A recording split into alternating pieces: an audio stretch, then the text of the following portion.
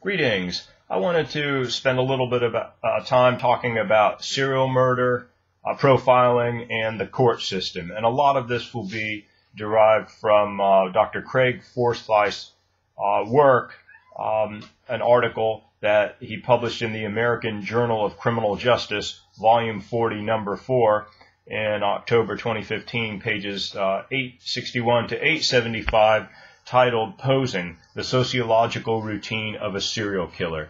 And Dr. Forsyth is a mitigation expert who works on death penalty cases. And the case that he writes about here is the case of Ronald Dominique, who confessed to raping and killing at least 23 men in southeast Louisiana. He ended up um, getting eight life sentences uh, with a plea deal, uh, thus avoiding the death penalty. And a lot of uh, that is attributed to the work of Dr. Forsyth, who has been an expert in uh, the mitigation uh, field in um, reducing death penalties to life sentences.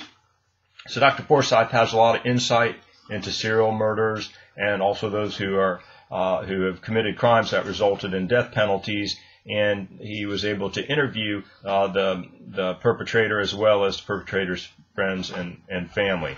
And one of the things he points out in looking at the profile of Ronald Dominique is that he lived in two different worlds. He lives in, in the world of being a friendly, helpful uh, neighbor uh, and son, and then also he cross-dressed in shows at a club. Um, and, and Dominique was um, gay, and he was ridiculed as a teen for being uh, homosexual. He was bullied, obviously, and um, he also had a severe heart condition, and this led to uh, financial and, and uh, other uh, problems. But before he became a serial killer, he um, also he was um, uh, involved in in, in raping uh, others. Uh, and, and so if we look at some of the factors that might be related to the development of his um, serial murder, you know, style, um, or behaviors, we see uh, several events that, that may have influenced in, in some manner. Uh, first of all, he was bullied as a teenager, and um, uh, he also uh, witnessed some um, very strange, inappropriate sexual behaviors between uh, his mother and his and his mother's brother. And um, this, of course, leads to a problem with developing uh, healthy sexual boundaries. He, as I mentioned before, he was involved in several rapes before the um, serial murders, and um, he also looked at. Uh, we also can look at the idea of a progression of uh, violent uh, behavior, and um, when we look at uh, what happened in his cases, we, we see that he um, started to have sex with these men and then he would strangle them until they died. And um, he tried, of course, to rationalize his killings, which often we see serial killers do, uh, that uh, saying that they were greedy and they were asking him for money. Uh, uh of course, these are irrational uh, bizarre statements to serial murderers make, and whether they actually believe it or not, or they're trying to make an excuse, is up for uh, debate. And um, again, probably one of the big points here is that uh, that he tended to lead a relatively normal life outside of his violent behavior, and so that becomes problematic for us in in in in, in tracking down serial killers and um, uh, having you know making arrests, prosecutions, and and, and the like. Uh, that uh, serial killers can live among us and blend in uh, very easily, and and so. Um, again, uh, Dr. Forsyth then presents some of the profiles of, of um, the more common profiles of, of serial murders in um, the United States, and some of the things though that we need to probably take a, a look at. You know, for example, uh, that um, uh, certainly that criminal profiling has flaws, and there's also a, a lot of uh, popular myths that have been uh, presented, and um, often the media will pick up on certain cases and sensationalize the presentation of that that case.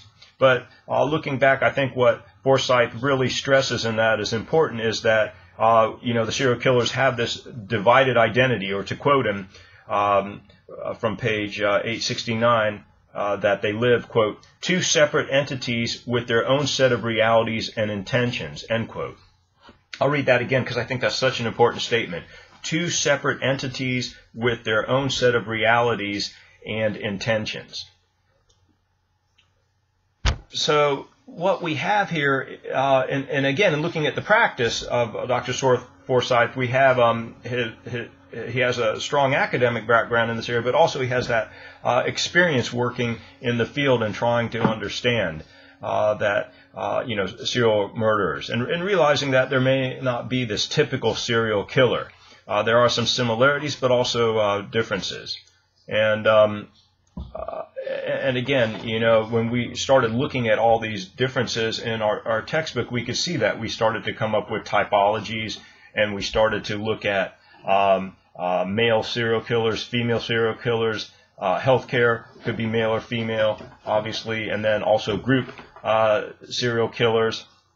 And then I even went as far as as to bring in in the in the course genocidal group perpetrators, and and so there's a lot of um, work to be done in, in, in the field, but um, we also have a, a, a, lot of research that has um, helped us uh, along along the way. A lot of times people ask me, how do you prevent?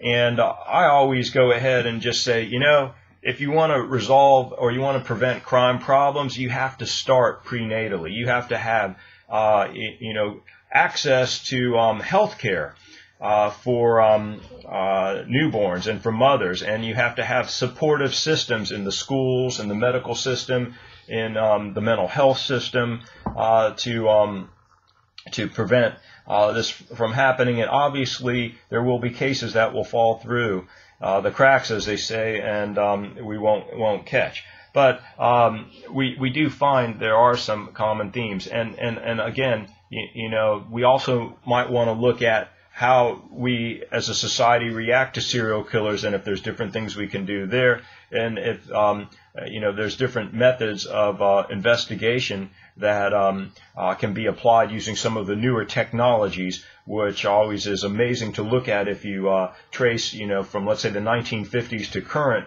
the changes in in the technology in terms of investigation and uh, information and, and surveillance and, and, and all that. So there certainly is a lot uh, going on here. And then um, thinking about the different uh, cases we've seen and uh, the, the trials and, and, and the outcomes, uh, we always need to put this into a um, perspective uh, for comparative purposes to, to try to understand this better. And this wraps up this video. Thank you.